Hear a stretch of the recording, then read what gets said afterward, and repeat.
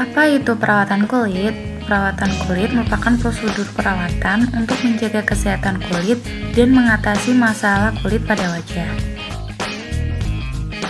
Tujuan dari perawatan kulit yaitu yang pertama, meremajakan jaringan otot dan sel-sel kulit. Yang kedua, memperbaiki kondisi kulit. Yang ketiga, meningkatkan sirkulasi darah dan getah bening pada kulit.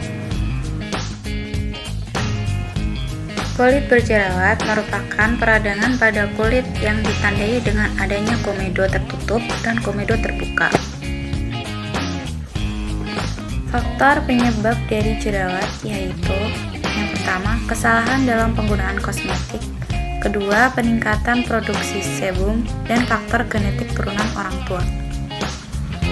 Peralatan-peralatan untuk perawatan kulit dua handuk besar untuk spray sebagai facial bed dan selimut untuk menyelimuti klien dan handuk kecil untuk menutupi bantal, menutupi dada klien, dan membungkus rambut klien. Kemudian ada kamisol untuk dipakai klien ada hair bando untuk menutupi anak rambut klien. Ada mangkuk kecil sebagai wadah masker dan cawat sebagai tempat kosmetik dan ada streamer untuk proses penguapan. Selanjutnya ada sendok una untuk pengangkatan komedo dan jerawat. Kuas masker untuk membantu pengaplikasian masker spatula untuk mengambil kosmetik, cotton bud untuk membantu membersihkan maskara, kapas untuk membersihkan alis, mata, dan bibir, spons untuk membersihkan sisa kosmetik. Selanjutnya, kosmetika perawatan kulit itu apa aja? Ada eye makeup remover yang berfungsi untuk membersihkan make up di area mata dan bibir. Kemudian milk cleanser atau cleansing oil yang berfungsi untuk membersihkan makeup di area wajah. Kemudian facial mask powder atau masker untuk mengencangkan kulit. Dan sheet mask masker untuk melembabkan kulit. Kemudian ada acne lotion yang digunakan untuk penyembuhan jerawat dan bekas jerawat. Dan ada air mawar sebagai campuran pembuatan masker. Mari kita tonton langkah-langkah perawatan kulit khusus berjerawat.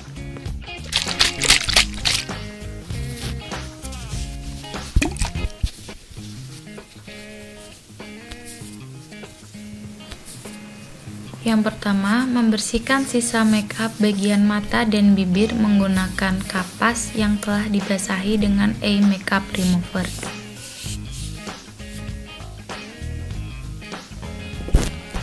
Bersihkan sisa maskara menggunakan cotton bud yang telah dibasahi dengan eye makeup remover agar lebih mudah dalam penghapusannya. Tidak lupa membersihkan bagian alis.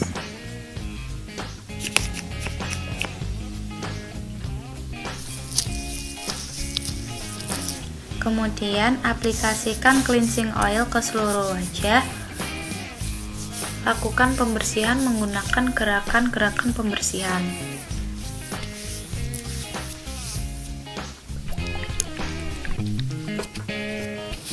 Setelah itu, bersihkan sisa kosmetik cleansing oil menggunakan spons yang telah dibasahi dengan air.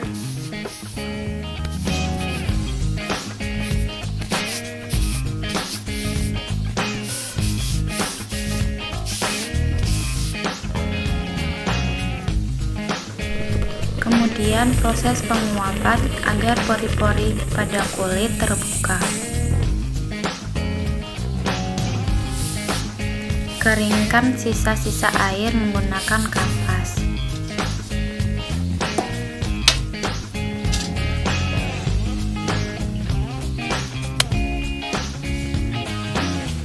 Kemudian melakukan ekstraksi komedo dan jerawat. Pengambilan komedo dilakukan secara bertahap menggunakan sendok guna.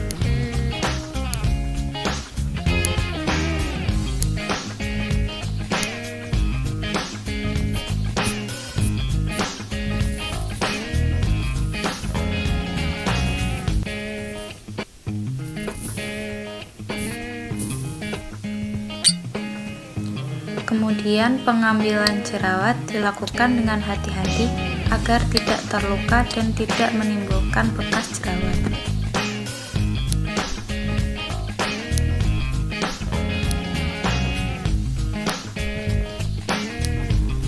Lakukan pengambilan komedo dan jerawat ke seluruh wajah.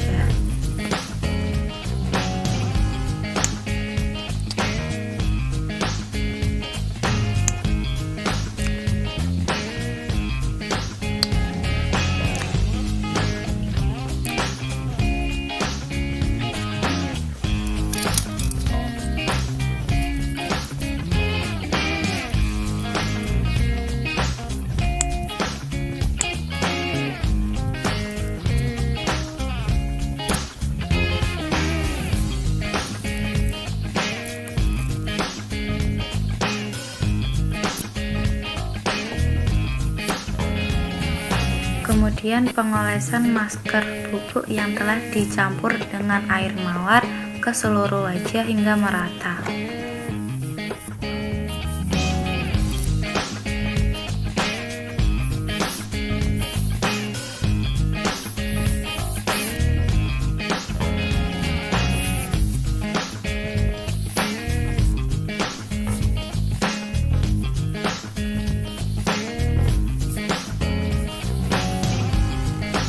Tunggu hingga masker kering atau sekitar 20 menit. Angkat masker menggunakan spons yang telah dibasahi secara perlahan-lahan dengan arah ke atas.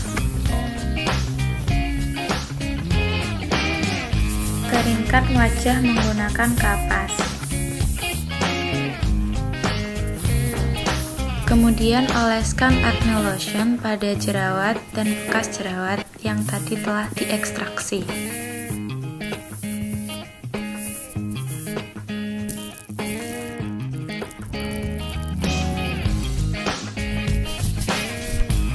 Kemudian angkat kosmetik menggunakan spatula.